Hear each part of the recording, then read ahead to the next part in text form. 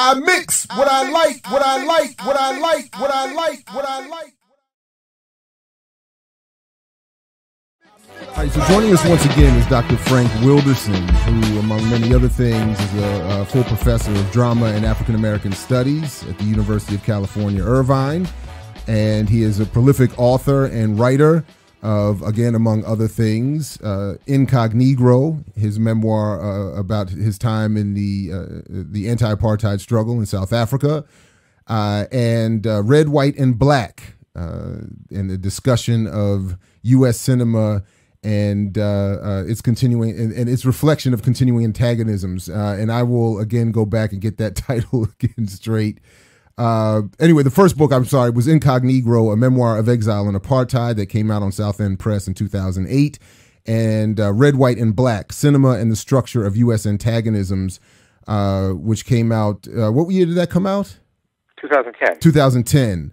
Uh, and uh, um, and for those who listen to this program or to our website will know that they can find our, our, previous interviews with Dr. Wilderson at imixwhatilike.org. Uh, but again, uh, uh, Frank, welcome back to the program. Thank you for joining us and, and, taking this time.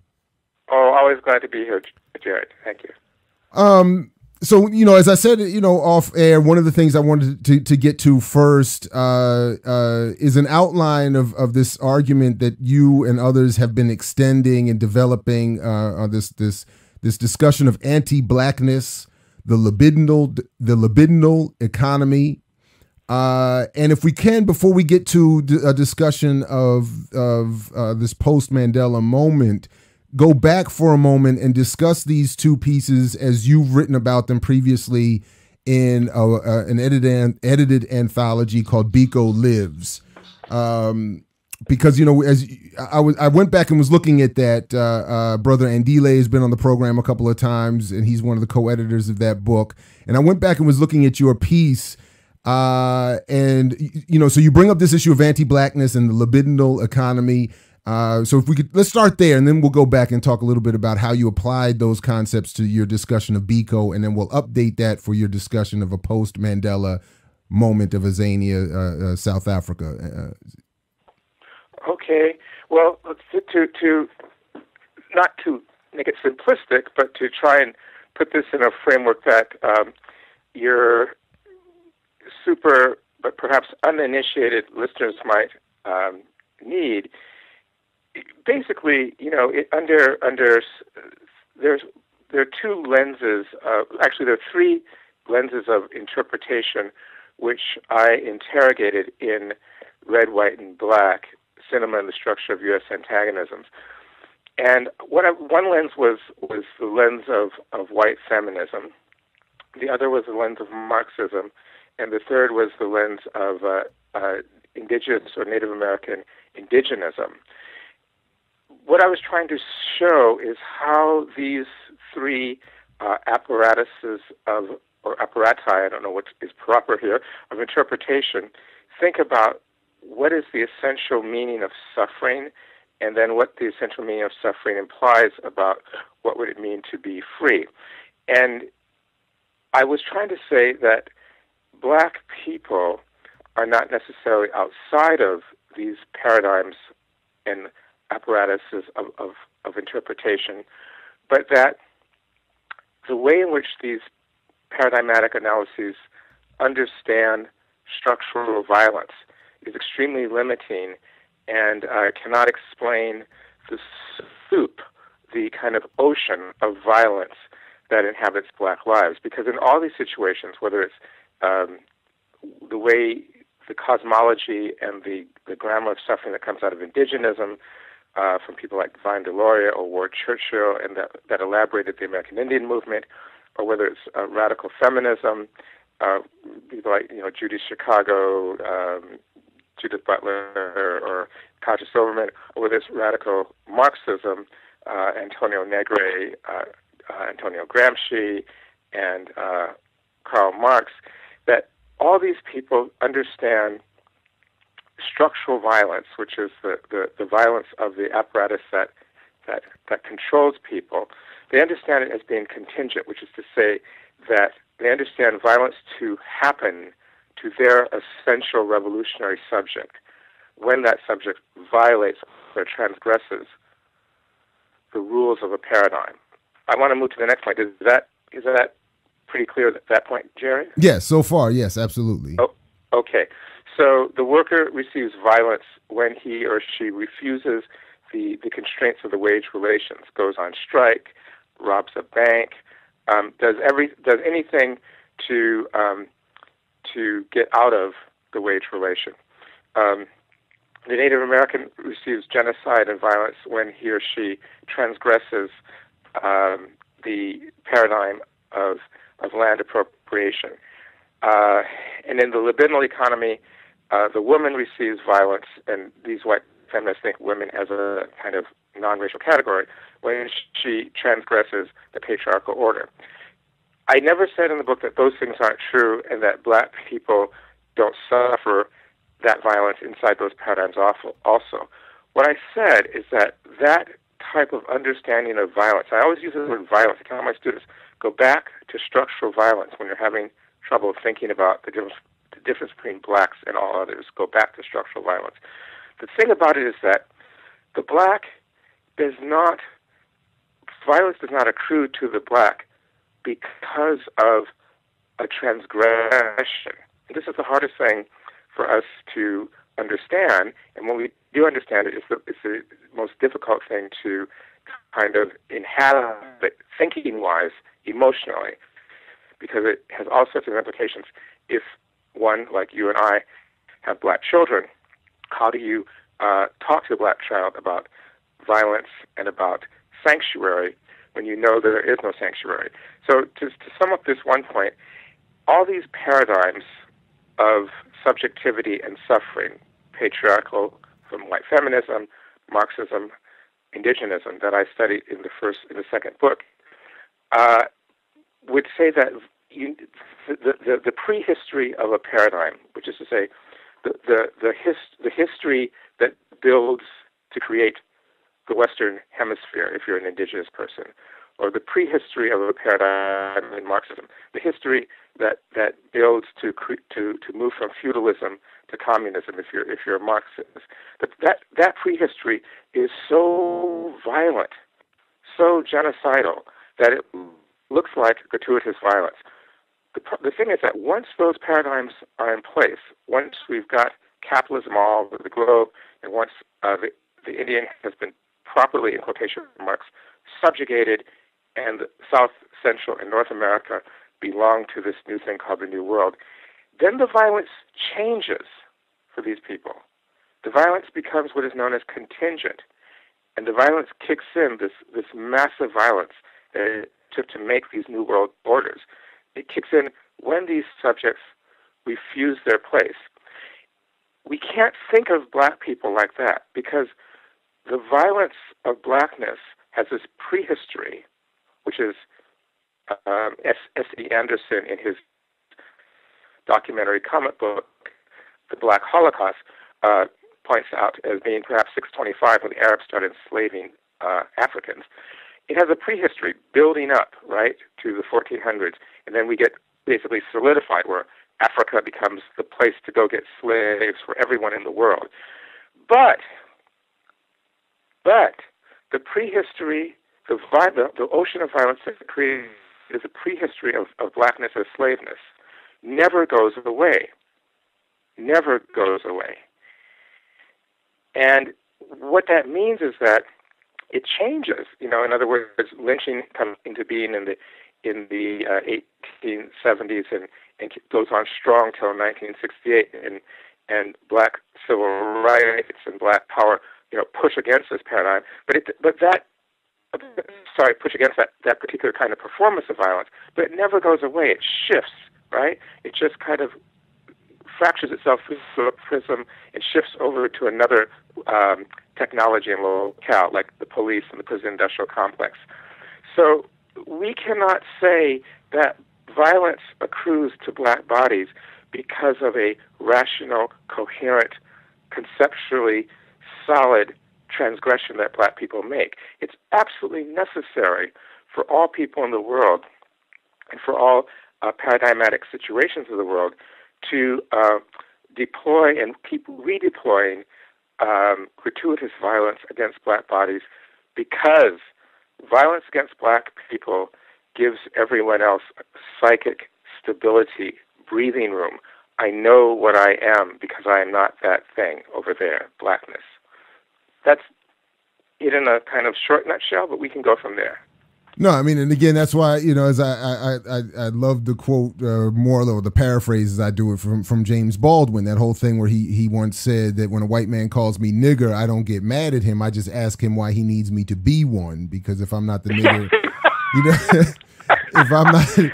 You know, if I'm not the nigger you say I am, then you're not the white man you say you are, and then everything collapses. You know, it's like, it, it, you know, um, but I was, I was, well, but Jared, Jared, yeah, yeah, that's, yeah. that's such a good point that you made because it's a point that Lewis Gordon keeps making. It's it's not that that black people, you know, are generally dishonored. It's but it's that the the the libidinal economy of everybody else who says we are has, as Lewis Gordon says, has this little uh, connection to the violence that makes their fantasy world true in quotation marks. So it's it's the fantasy of our abjection.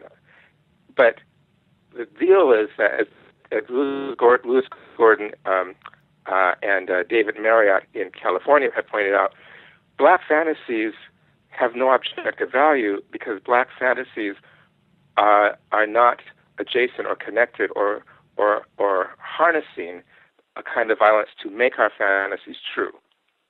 Mm. Mm.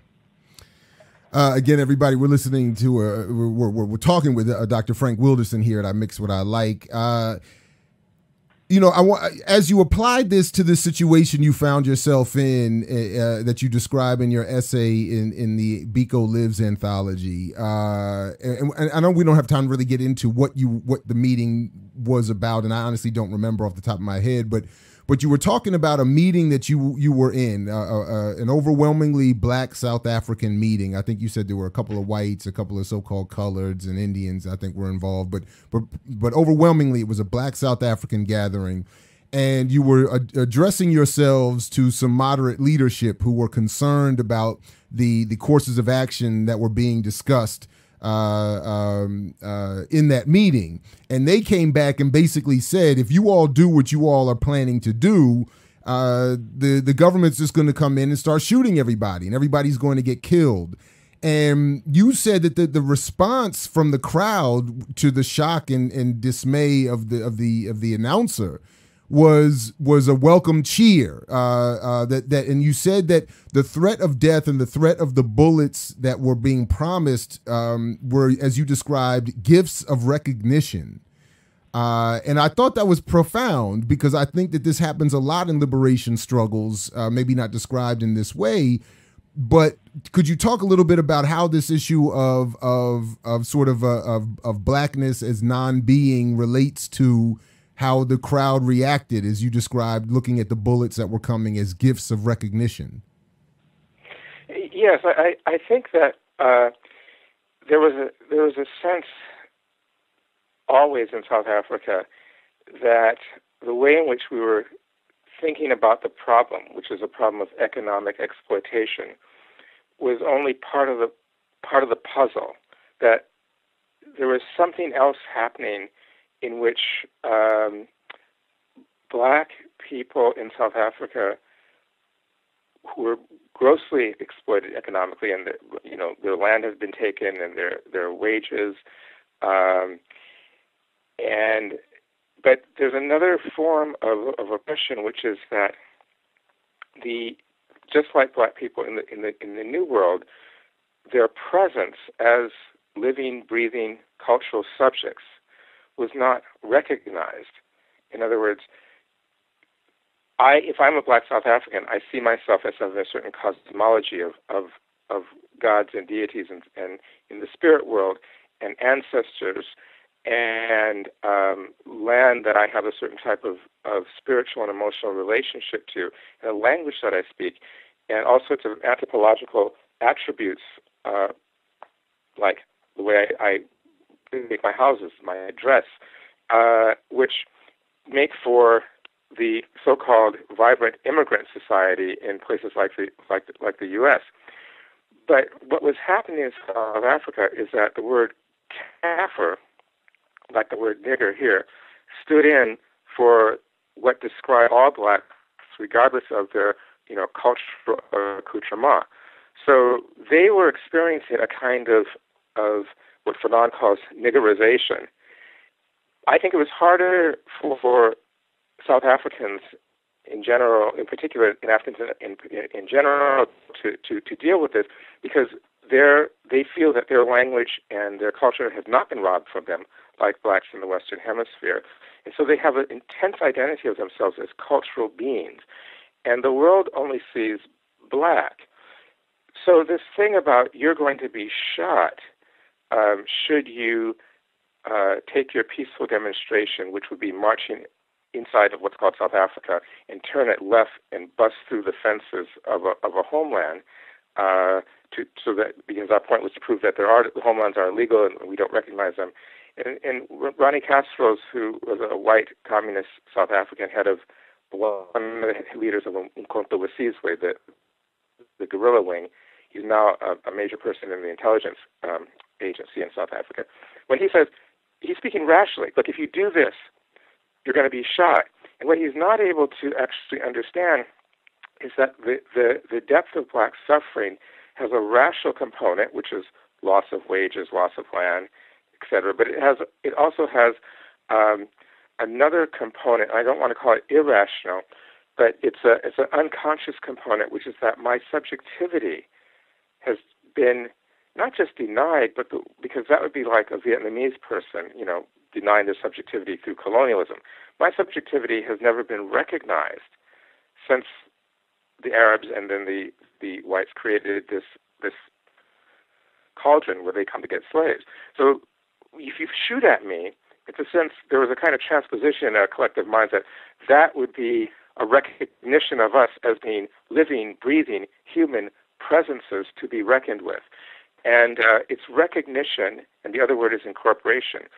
Blackness cannot be recognized, nor can it be incorporated into um, the rules and structures of civil society, precisely because civil society defines itself at the very bottom, most fundamentally fundamental level as being not black. So once blackness is recognized in any structure of civil society, then that structure is is imbued with a kind of existential crisis. Um, whether it's someone marrying my white daughter or someone becoming my black president. You know, I mean, right. I don't. I'm not down with with with Obama, but damn, he's receiving so much anti-blackness. I feel bad for the brother. You know, so it was the bullets. So what what Kasrils couldn't understand is that as a communist, he said he thinks people need land and bread and and and to to own their own wages and not have their wages become part of profit. Yes, that's true. But as an Afro pessimist, I understand that what black people also need is the recognition of existence and that we present such a threat to the world because because the world over the past however many thousand years has begun to define itself in contradistinction to our recognition. That was that moment that, that the communists could not quite grasp. Something other was ha- something else was happening from inside of blackness, and uh, they thought it was just black people like crazy want to be killed. right, right. And again, we're talking with Dr. Frank Wilderson here at I Mix What I Like. Uh, uh, and as I should have said at the top, again, I, I, sometimes forget that, that not everybody has heard all of our previous conversations, but uh, part of what has drawn uh, uh, uh, to you and to, to, to your extended um, comrades is, is – uh, your your your book Incognegro, uh, a memoir of exile and apartheid, where you recount your time as not only a, a, a part of the ANC struggle, but but a part of the Umkhonto we Sizwe armed struggle guerrilla wing of that movement. Uh, and that that was of particular interest to us and remains particularly interesting to us, uh, uh, you know, um, as you continue uh, on and doing the work that you're doing. Um, and we'll ask again that people can reflect back and we'll link to it again when we put this up uh, uh, to those previous interviews and people can can double back and, and, and check out some of the video there too uh, at imixwhatilike.org um, you know, so in the in, a, few, uh, several weeks now, at least, have passed since uh, uh, the death of Nelson Mandela. Uh, a lot of obviously has been said about that, uh, uh, continues to be said and the tra- transition into a now post Mandela moment or post Nelson Mandela moment in South Africa. How should we interpret? You know, we again as as we were were, were you know drawn to uh, initially, uh, Mandela was was quoted as saying that you, uh, Frank Wilderson, had become one of the greatest threats to a post-apartheid national security of South Africa. Um, so, and we've we've chronicled at least some of, of, of the critique and criticisms that, that you and others and, and we have had of, of of the ANC and of some of Mandela's decisions and so on. And I know that that's difficult, particularly in this moment. But how do you think, given what you've just said and some of what we've already just talked about today, how do you suggest that people interpret this moment going forward, um, this post Mandela moment? Uh, um, uh, how do you, yeah, how do you, how do you see it best to interpret it and what, what we should, you know, and then, you know, do uh, moving ahead? Yeah. That's a very good question, and it's also a very difficult one.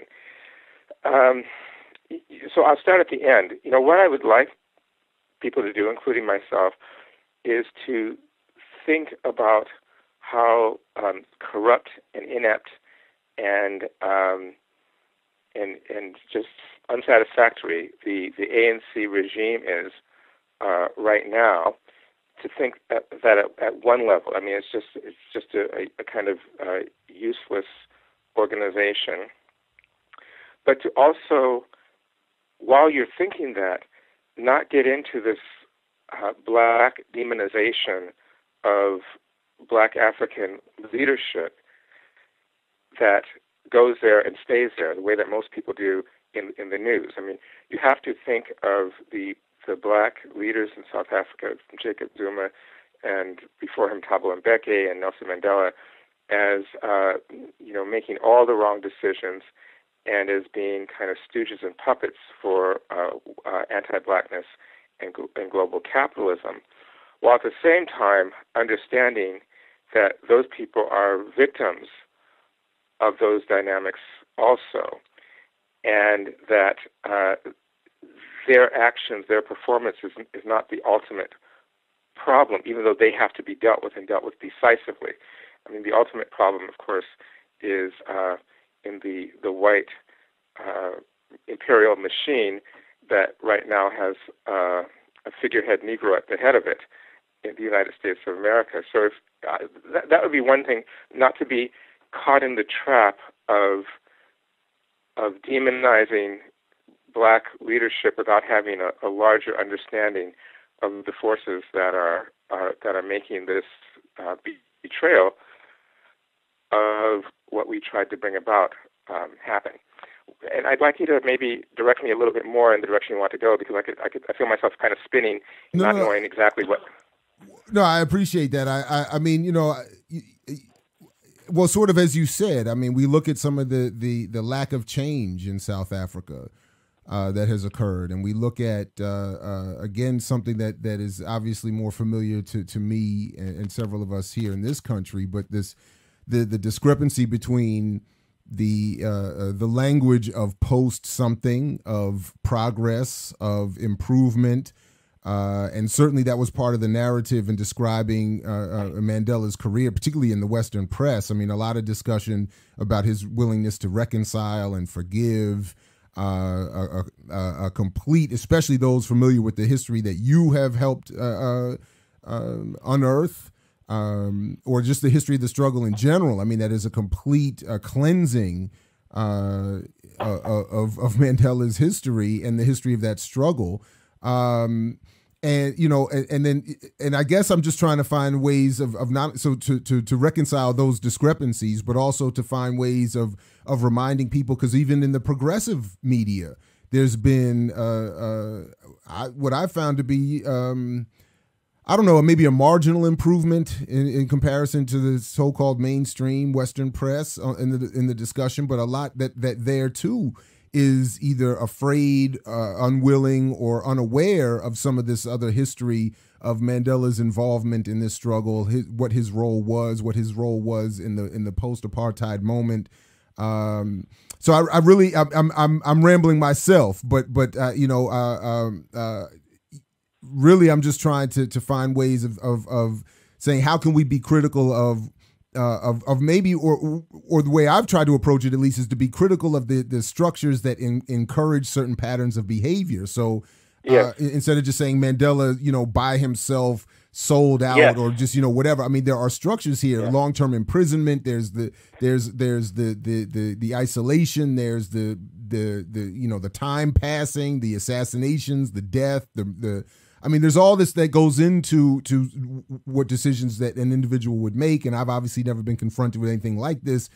But at the same time, we see it. We hear from people themselves. I mean, Brother Andile and the economic freedom fighters and, and, and other communities and other people in struggle in South Africa remind us all the time how little has changed and how, how past leadership has failed, whether it was, you know, because they were selling out or they just gave their best effort and didn't succeed. But while everybody's getting a lot of credit, as has happens in this country, for some sort of progress that has never occurred, we can't seem to have any real conversations about what went into these struggles that that what went yeah. you know and what what was lost you know so that's why we always yeah. ask you about the time in the the armed wing or or about what happened to the socialist uh, uh wing of the struggle obviously what happens to Chris Hani and how does Steve yeah. Biko get you know erased from all this and then of course Winnie Mandela seems to also be uh, as big as she is and alive as she still is, she's removed from all the conversation. I mean, it's it's Anyway, so uh, you know, I'm well, rambling. I'm not. I'm not right much there. helping you there, but but but that's yeah. No, you are. You are. You are. Because what ha- I mean, I think the the thing, the black people in the ANC, black leadership, did some things that were not um, that were pretty reprehensible. I mean, one was the the way in which the ANC uh, um, that um, sometimes violently on the black consciousness movement, and the you know, so there was a lot of internecine uh, violence that happened in the, the 70s and the and the 80s, and um, and so the ANC, in, in striving for hegemony, using uh, progressive money from Sweden and communist money and arms from the from the Soviet Union bloc, uh, worked to suppress and to purge all other forms of of, of radical organization. So there was a lot of internecine struggle and fighting between PAC and ANC, and because the ANC was was more heavily financed and because it had a lot of white people, it, it won that.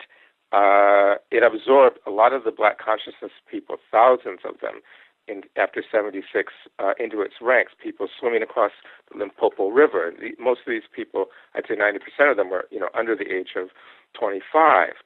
And they're, they're fleeing, you know, the Children's Revolution era and they get to ANC camps, and they, their infusion radicalizes the ANC. But you know, the umbrella doctrine is uh, Soviet communism or uh, Western social democracy. Those are the, those are basically the two umbrellas. The only two umbrellas that you can have in the ANC, and so they've got to kind of get with the program, even though their presence radicalizes the ANC and and, and uh, really infuses the ranks of MK, Umkhonto we with thousands more guerrillas, and they can start the, the violent war again.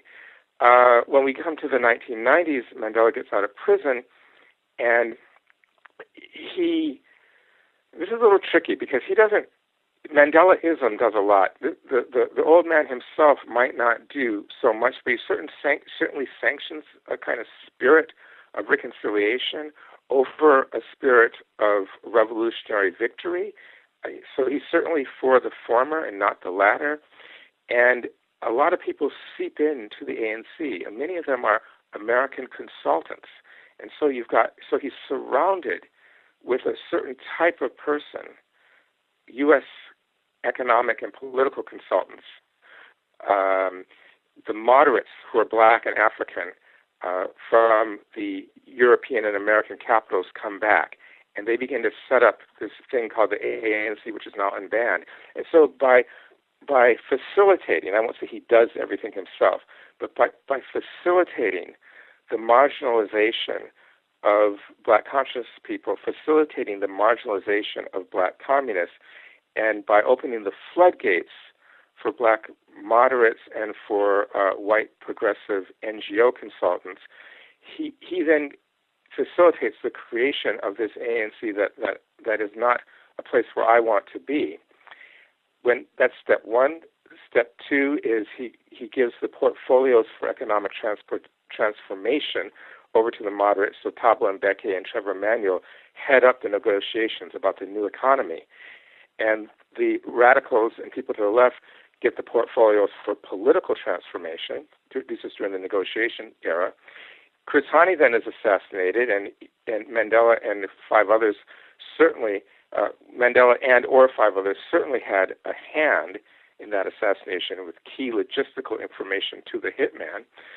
And then the Great Purge begins, where 100,000 so called ultra leftists are purged from the rolls, which is the rolls are 350,000 card carrying members. Mind you, 350,000 card carrying members, uh, even though something uh, approaching, I don't know, 20 to 30 million people support the ANC. So he, pur- he purges, and in this purge, Winnie is purged and she represents a very strong radical wing. By that time, we're now in 1990, end of 93, and the deal is done. The ANC is, is, is just a kind of United States Democratic Party get out the vote organization, and it's ready to be part of the neoliberal agenda. You know, again, uh, well, I mean, even you know, I'm, I'm sure I'm going to hear, as I have in the past, uh, uh, some sort of pushback or some sort of uh, uh criticism about this point that you're making about Mandela's, you know, knowledge of or involvement in or awareness of Hani's assassination. Um, well, let me let me be very specific of what I said. Yeah, I, I said that there are five people who knew that on the ninth, the night of August, sorry, April 10th, 1993, Chris Hani was going to uh, give his bodyguards the night off because the next day was Easter. He is one of those 5 mm-hmm. And I say that, that the assassination attempts that the Conservative Party had tried to make in the past had failed because they couldn't figure out the sleep movements because he slept different places. They couldn't figure out the bodyguard movements. And he the bodyguards didn't know that they were going to be released. He told them on his front lawn, "Go home. Tomorrow's Easter. Be with your families." And they were kind of freaked out about that. Within 15 minutes of him telling them to head up, the Polish hitman drove up to the front lawn and shot him in the driveway. That's key information that that was only available to about these, these five people. And every time someone has tried to come forward to talk about who one of them or all of them might have been, something has happened to that person. So that's what I said. I didn't say Mandela made the phone call and helped the hit, but I didn't say. I said that he was in the in the, the group of five that one or all of them did that thing that got that information over there it doesn't really matter if he is the one that made that phone call because he benefited tremendously from it. Well, that was and that was going to be my follow up to that. That that you know, aside from the fact that you know, so so, I think what you just said is extremely important. But uh, moving away from the the fact that, or working around the fact that we don't know the specifics, we don't have the quote unquote smoking gun evidence as to who did what. We can talk a little bit about what was the value to to the post apartheid ANC regime of Hani's assassination or removal in one way or another from the political scene. One question that I have is that because in the in the way his assassination is is is recounted, even even recently, um, they talk about the two things st- struck out stick out to me in the in the coverage of, of Hani's assassination. One they the the, the news and the, the reports make mention of the fact that he was at the time it, where he was assassinated was in uh, a, a, more middle class, racially mixed suburb, which yes. I which I thought was interesting, and, and you know, and I, I, would want your comment as to why that point would have to be made. Um, and and the other is is that Hani had already agreed publicly to support in uh, uh, uh, peaceful negotiations and support of Mandela's ANC. So yes, go ahead. i will tell you why I'm laughing. Right. So, so I mean, those two things I thought uh, uh, always stick out to me as to to the, the coverage because then, of course, I, as I take it at least, it's meant to convey this idea that that we were in a new moment, uh, that the assassination of Hani could not be seen as having anything to do with protecting the new leadership. Uh, or easing the transition, that this was sort of, again, as we often hear in this country, sort of a lone nut uh, disassociated from any sort of political apparatus, uh, uh, so on oh and so goodness. on and so on. So, so oh my goodness. yeah, could, uh, could you just tell us a little bit uh, again? What why was Hani's assassination necessary politically? Okay, yes, indeed. Well, uh, well, where to begin? Was you, you just cut me off when I get too long, but I'm going to try to make this very succinct here. Okay. Uh, Chris Hani was the head of, of the arm wing in Umkhonto we Sizwe uh, he was also the head of the Communist Party. The Communist Party had 50,000 card-carrying members. Each of them were members were in that ANC, in the ANC, and they were the driving force of, of armed struggle.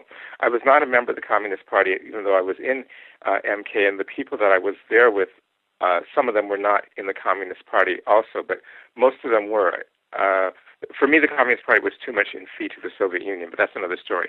The point is that Hani was writing articles and making speeches um, that were saying that, look, I'm going to go along with this until through the first presidency of Nelson Mandela. And under the first presidency and through it and after it, I will emerge with a new independent party. It will be to the left of the Communist Party. So he's going to leave the, the South, African, South African Communist Party at some point, leave the ANC, and um, create this thing that would be more true to uh, the the vision of, of, of, total communism that the, the people on the ground uh, wanted. That was a big threat to the ANC leadership that, that after the fall of the Soviet Union had already decided that you know, they were moving towards social democracy and not communism. The second thing was that the ANC was faced with a crisis that, that people, like the ones you've just spoken about, Jared, who say this is a peaceful time, the ANC knew something different. If you take the period from 1948 to 1994, the, the big bulk period of, of apartheid, even though anti-blackness has been going on for 300 years, but 48 to 94, saw the, the murder of 1.5 million black people in the frontline states from Mozambique to to um, Angola, but and it saw the murder of 21,000 black people inside the country. Now, what people don't really get is that um, 14,000 of that 21,000, which is two thirds of that genocide number, died in the period that I arrived in South Africa from 1989 to 1994. That means most black people in country were murdered in political deaths in the period that the Western world talks about as being the peaceful transformation. There are massacres happening all the time. Mm. And, and when de Klerk in, in August of 1989 got rid of P.W. Botha through a kind of internal coup uh, in the in the in the in the uh, ministers amongst ministers and and through Botha's failing health, he got smart. He said, "We're not killing all these black people with whites anymore."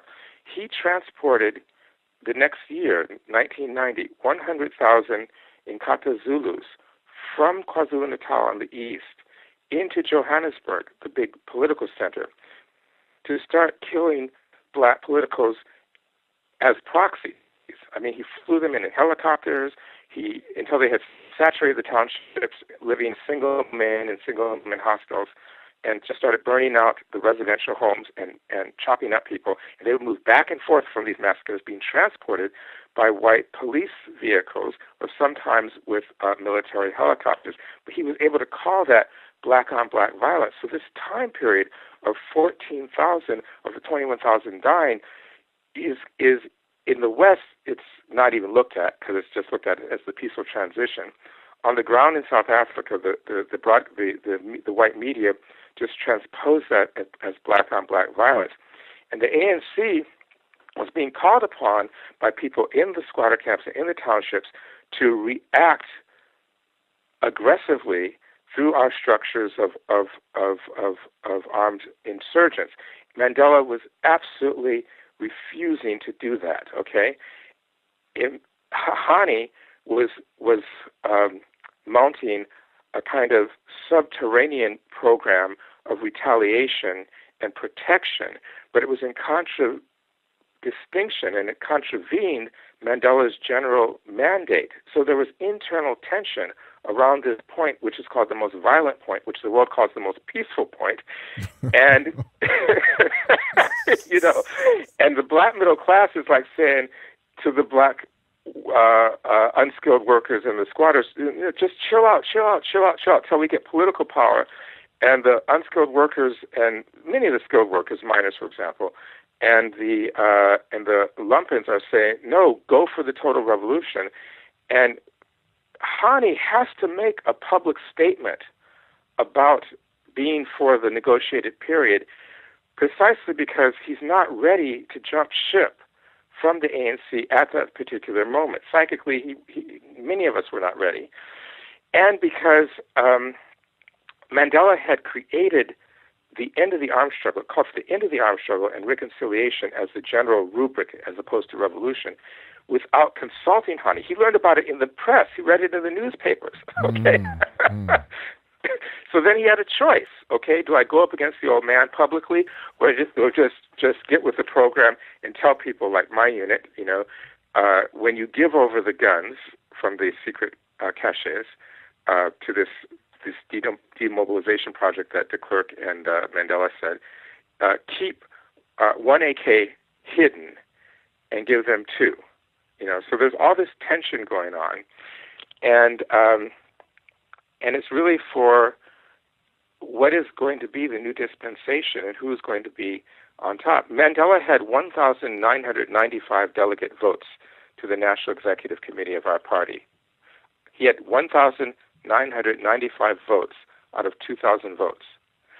Hani had 2,000 out of 2,000. That tells you something about um, you know, and Winnie Mandela was, she was, she, there were 100 people. She had something like a thousand votes. So, so she was a, quite as, she was, she was half as popular um, as Mandela, but most women voted for her. And so you get rid of Hani and you get rid of this kind of uh, galvanizing persona for black anger. Then you get rid of Winnie and you get rid of another galvanizing persona for black anger and for um, the uh, empowerment of women inside of the party, and now you're ready to go for this uh, patriarchal black Negro sellout agenda that happened. And just very quickly, because you've already said so much that is never in these these you know the, the retellings of, of of Hani's assassination, but that, that point that I keep seeing that, that that he was in this racially mixed suburb when he was killed. Ah, uh, I mean, again, it's meant to, obviously to convey this this improved condition that meant you know his line of reasoning was less was less important or valuable at that moment. At least that's how I, you know. But but uh, um, do you understand what I'm saying? So I mean, I, because the reports that I've seen and the, the, the particularly the the news, the video news footage. Uh, that I've seen online always make this point. They that they, that that it seems like an obvious attempt to make this point that again as i'm reading it that that hani's argument uh, and and i do honestly put it in the way that that that many in this country have been been mislabeled you know the, the idea that malcolm x's argument or kwame ture's argument was no longer necessary because of so much of the progress that had been made um, ah. you know and so here's hani being killed in in this racially mixed middle class suburb. It, it I, I, don't know. I mean, it just sounds it just it just sounds to me again like a, a, a, a like I don't know how else to better say it, but this attempt to to cast his politics as, as anachronistic at the point of his assassination and, and, and thereby separating it from again any political apparatus or, or political move to remove him. Uh, yes, yes, that's a very good point. And uh, what what de Klerk understood, he, de Klerk and others helped bring about this, the dynamic that you're talking about, so that there can be pushback against uh, against a, a communist um, understanding of the world and, a, and and or an Afro-pessimist understanding of the world. And what he did is he said, look, these things that are that are kind of uh, part of apartheid laws and regulation that are really manifest um, cultural behavior. We we really, if we're going to survive as as in, in white domination, we can afford to get rid of some of these things. So let's get rid of the Mixed Marriages Act.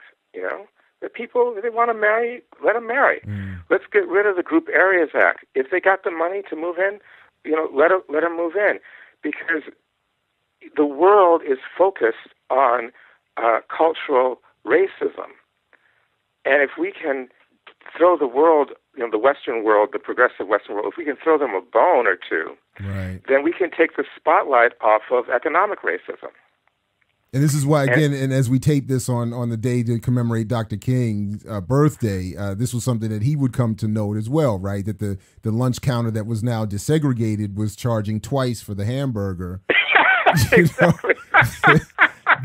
yes, exactly. Right. Exactly. You know, I mean, Hollywood learned this in the, at the end of the 1967 to like 77. So black people go to the movies, right. and Hollywood's going bankrupt. So let's make some black exploitation films. Right. You know, damn. Stop. you know, they had kowtowed the, the movie. Ivan Dixon did nothing but a man in uh, in 1966. He played the, the lead character in that, and um, they couldn't get that showed in the South because the poster for it show, uh, was a close up of a black man and and um, and uh, oh the singer Ivy uh, oh I can't remember her name. She's so famous. I'm gonna look her up while we're there. Uh, well, Ivan Dixon and and um, uh, this very famous jazz singer who was uh, the the star um, uh, sing, uh, kissing or mm. their faces close together. And and the people in the South were saying you we just can't have that on right. a on a movie bill, billboard. And so Hollywood was making all these things, and they said, "Well, forget these people," you know, because what we what we need is the essential white domination, not uh, to kowtow to the, the the far right. And so, by the time Chris Hani gets back into the country, uh, you can move into a, a certain white neighborhoods if you've got the money, but that doesn't mean anything. Right. It means nothing at all. And he's not in in Boksburg because I went there for the for the funeral, and it was that was some six hundred and ninety thousand black unemployed people uh, at that funeral, and and we just tore it up. Me, me, I was employed, but I was right with them. You know, burning cars and burning buses. And, Which, by the way, I mean, I mean, but by the way, now that you mention it, I mean that was very different than the ceremony for Mandela that we saw on TV with, with a half oh, yeah. empty, you know, a half empty stadium, uh, ANC leaders being booed. Uh, I mean, it wasn't, you know, uh, it, it almost it, it, seemed to be quite clear, like we don't want that many black people to actually show up. Uh, no, no, no, because they might actually go off script and and uh, anyway, I'm sorry, but but yeah, so you were saying about about Hani's. Well, well, Boksburg. If you go to Boksburg uh, and you look at uh, where compare Boksburg, where Hani's house was, and you, com- and you compare it to um, the other places where where the uh, ANC leadership lived in the north of uh, northern suburbs of, of Johannesburg. Um, you know, Boksburg ain't nothing to to shake a stick at. It's you know, it's like Queens or something with decent, you know, uh, lower middle class homes but it's not like he was living in the lap of, of, of luxury. Right. That's number one. But number two is that, look, all these 100 people, 100 NEC, National, National Executive Committee people, are now back in the country. It's 1992, 93. And you can tell what civil society thinks by the way they walk around. So you got Thabo Mbeki, right, near the top of the NEC, walking around driving his Benz uh, without bodyguards. Mm. You got Chris Hani walking around with six people surrounding him, and in a in a combi van full of of of, of bodyguards, and he he wasn't he wasn't sleeping at that Boksburg home regularly. Okay, that's what people don't understand.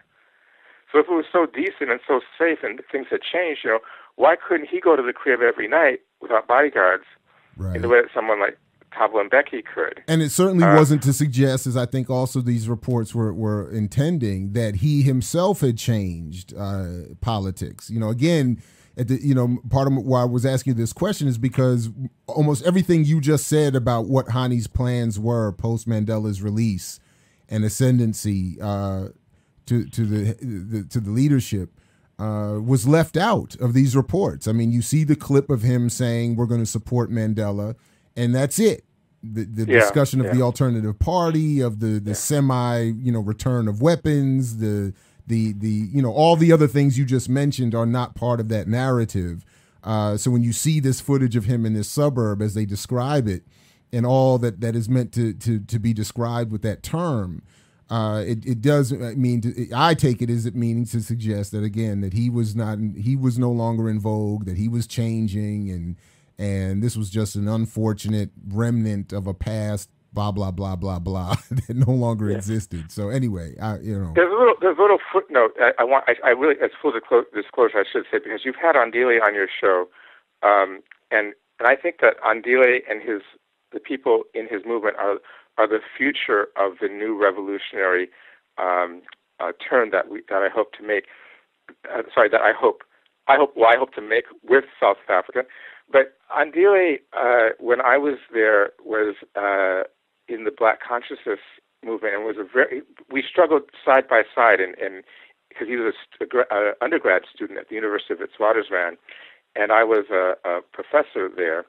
And uh, I, I think that Andile has a, a much more uh, pointed and and and critique of Hani himself uh, than I have. I, I tend to cathedralize him a little bit because I, I've met him on several occasions and work with people near him. But you know, let's not, I don't want to make him into an angel because going back all this way, he was part of the, uh, before I got there, he was also part of that um, juggernaut that uh, op- uh, oppressed and had internecine violence against, against other, other black groups. Mm-hmm. So um, he has a complicated history, but at the time, but in relation, so he has a complicated history in relation to the, the, the black consciousness people and there's a there's a story that that he ran away from a from a a battle right. in Zimbabwe. Right, right. Uh, uh, and I and so I don't want to leave all that out, but I also want to say that that inside the ANC, he he and Winnie were were the, the biggest forces keeping us on the path that we should have been on. Well, again. And, and yeah, go ahead. I'm sorry, but again, I mean, uh, uh, uh, forgive me for cutting you off there, but again, it reminds me of you know being this you know King's holiday that that it's the same thing. It is not to say that these people were not flawed, that they were perfect or anything like that. That was that's not my point. But it's to say that for me at least that uh, you know King wasn't assassinated because he cheated on Coretta or or some say cheated on his PhD. I mean that's not why he was assassinated. So exactly. so whatever was wrong with Hani or whatever was wrong with with King or Malcolm or any of the other people we we you know praise it is not to say that that's what that's not what caused them to be a, a threat to those in power to a power structure that I happen to be uh, uh, uh, in opposition to. So that's that's really my point and all that. But I'm glad you made that point, and, and, and please continue. I'm, I did not mean to cut you off. No, no, I, I just I just heard uh, Andile in my in my inner ear, you know, my, my little on my shoulder saying, "You're always so kind to Hani. You're always so kind to Hani," you know, and and uh, and if I had been in Black consciousness, I, I would I would have a, a critique of Hani in, ensconced within the critique of the of right. the ANC. Um, on the other hand, it has to be said that that Hani secured a mandate from the, the, the lowest classes of, of black people and young black people, and that that was something that was really impossible for Mandela and others to do because uh, he cared, and because he did put his life on the line, even you know, I, I let me tell you, there were situations with with guns and stuff which I've not been allowed to talk about, but um, one of them I ran away from. Okay, so I'm just going to put that out there. Um, I entered this struggle, an older man, like 33. Most people were in their 20s. I, I had no uh, armed struggle training whatsoever, and so I I know that I was scared all the time, and um, and I was actually asked to to move to another part of the, the, the country to to start um, uh, a new initiative, and that part was KwaZulu Natal, and I and I was just too afraid for my life. I I, I didn't I refused to do that uh, because that was an Inkatha stronghold, and it was uh, the Zulu nation. And by that time, I was just too traumatized, and I and so I don't fault somebody for running away from a battle. You know, um, I've done it myself. Well, I've run away from a whole bunch of them that had nothing to do with real politics. So I mean, I'm, I'm no, I'm certainly not going to be a critic of that either. Um, but listen, we only have a few minutes left, and I did want to. I mean, there's so much more because you know, brother Andile, you know, still owes me uh, uh, um, his critique of of my uh, interview a few months ago of uh, of an author about uh, uh, Joe Slovo and Ruth First, and and he was saying, you know, that this is why we need to be more critical of of, of whites in, in these struggles um, and and I you know I was too supportive of them uh, in particular because uh, of some of the history that they were involved in that doesn't get recounted, but particularly in in Ruth's uh, willingness to engage the the idea of armed struggle, which is something that was of of uh, interest to me, and of course the way she was you know taken out uh, in violently yes. in armed struggle. Um, yeah. So I'm still waiting for his critique. Uh, you know, he, he's he, he's going to give me a critique of that interview at some point. But one thing I did want to ask you very quickly, if we could just say a few words, is, is this issue of of the assassination in 1966 of uh, Verwoerd, as I think you said how I, his name should be pronounced. Yeah, yeah. Um, and his killer, because I've I've only come to learn about this a little bit, you know, just a little bit over the last few months, and I've been shocked at how little this this conversation seems to be included in the histories of uh, apartheid or, or the struggle in South Africa. Could you say a little bit about this killing and why you think it doesn't get the attention something of this nature should? I mean, Verwoerd is the architect of the the official apartheid state, uh, and the fact that he was assassinated violently in 1966, it seems to me should get more coverage, uh, uh, more discussion. Yeah. Uh, anyway, could you say a few words about that? Well, okay. The punchline at the end is that I, the, one of the reasons why it doesn't get more coverage is because it, putting a political uh, interpretation on it means that you have to kind of marry the, the, the, the typical, say, Marxist interpretation with uh, also other forms of, with different forms of, of different lenses, like psychoanalysis and interracial race theory, and it's uh, and it's it's it becomes it's messy and, and complicated, and so most people don't do it. Uh, the the killer was a, a guy who had a Greek father, and his mother uh, had had one white parent and one black parent, and his mother was was a, a so-called colored or mixed race maid of this Greek father right, right, right. in Mozambique. And so this this uh, Dimitri spent a lot of time just just roaming the earth uh, from op- getting odd jobs, and he never really got uh, proper papers. When he went to South Africa, he became a page in Parliament, and that's how he was able to gain access to uh, de Klerk. But he, since he wasn't part of a political movement, and his the the, the agency. I'm sorry, you didn't mean de Klerk, right? You meant uh, he got access to to to Verwoerd.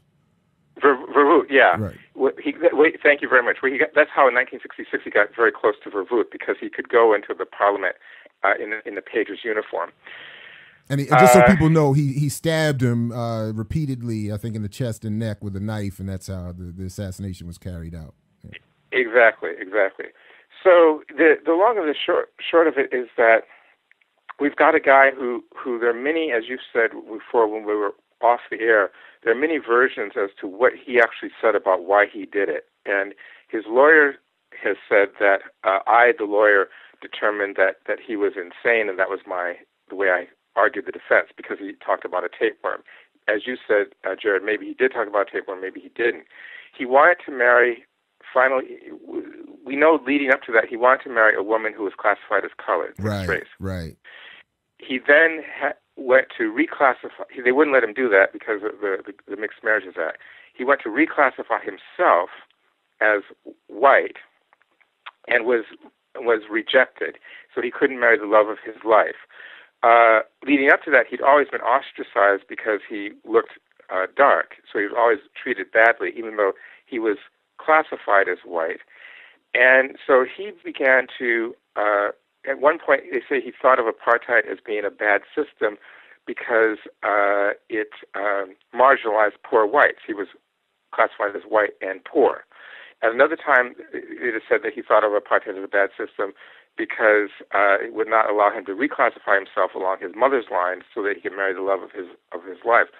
What you need is a really complicated lens to look at all the different factors from the libidinal economy, the collective unconscious of a, of apartheid and white supremacy, to a political economy, to to to think about the hydraulics, the pressures on the brain of a system like this and the ANC never really had the uh, political tools to do that because on the left, there was never the, the freedom uh, to think about oppression through many different lenses. Uh, you had to think about it through the lens of the two stage theory that came out of the Soviet Union. And on the right, um, you know, the Mbeki people who were for mixed economy or capitalism, there wasn't much political thinking going on at all in terms of analysis. These are more or less policy wonks. So there's never been a frame, a, a, a sanctioned framework to thinking about Dimitri, and and if you claim him, uh, then you could be accused of of claiming a mad killer as opposed to uh, thinking about his act politically. And I think that's why it's just easy mm-hmm. to let him drop through the cracks. Yeah. Anyway, I just I, yeah I did want to just ask and raise that uh, uh you know because uh, in particular I found in, in one article where where uh, the Black Youth uh, uprising in the '76 Soweto uprising were calling him and you know were, were chanting his name and calling him into existence. the the Demetrius um, the, the the the killer. Uh, as a as a proud you know inspirational chant you know so it was like you know that they they were at least politicizing his act uh, 10 years earlier as something that was inspiring them, uh, in, uh, at least according to this one article. And I found that of interest and, and, and thought that that was, uh, um, at least itself, even a, a, a statement as to why. Uh, so little is said or seems to be said about this act. I mean, you know, uh, um, even in, in, you know, even if it was to to to to try to, to diminish him. Um, well, you're so right. You're so right, and, and, this is this is this is the thing that the ANC has to manage. It has to manage black rage in general, and it has to manage uh, black youthful rage in particular. And so most, and this is, uh, am I still with you there? Oh yeah, absolutely. Okay, I did. I did. And, and this is this is what all black leadership, you know, is about. Whether it's uh, Vernon Jordan or hmm. or um, or or uh, Obama, it's really about the management of what seems to be this kind of irrational anger that that um, the black community, uh, particularly the, sometimes particularly the youthful community, uh, that proliferates from them. And so, it Castros couldn't understand, you know, in that meeting, that this rage, which comes out as celebration of the bullets that will fly towards us, or as you're saying in '76, that the youth bringing back Dimitri to life. I mean, rather than saying, "Hey, what is that about?" Let's think about that. Let's think about it productively. Not let not let's think about that as something that we got to put a lid on, so that these black people become proper political communist political subjects. Let's think about that productively. I mean, what what is productive about this black rage that that seems to have no boundaries and can actually celebrate a so-called crazy killer, just like the black people celebrating uh, 9/11. You know, if you say, well, black people like you know cheering in the ghetto for 9/11, it makes sense that the Arabs would do that. Mm. You know, one person said, but but but it's completely inappropriate for a black American to do that. Well, your your anger does not have to be connected to a comprehensive, conceptually coherent political agenda for right. it to be legitimate. right. right. No, I've, I've, I've been amazed my entire adult life of how often people have said because I don't have a perfectly formulated answer to every problem that exists that my criti- criticisms of white supremacy or capitalism are misplaced. You know, it's like, yeah, I mean, I mean, dang, I mean, how much do I have to have figured out to know that these two systems are a mess? Exactly, exactly, exactly, exactly. Anyway, so we should be we should be following that rage and that and that celebration. Uh, as opposed and and seeing you know what does it have to teach us mm. as opposed to saying oh this is improper mm. well dr frank wilderson thank you very much again for joining us uh, here at iMiXWHATiLiKE we greatly appreciate your time and your work and we will uh, link to everything we can uh, so people can find you more easily uh, and of course we will be doing this again before too long so thank okay. you again thanks jared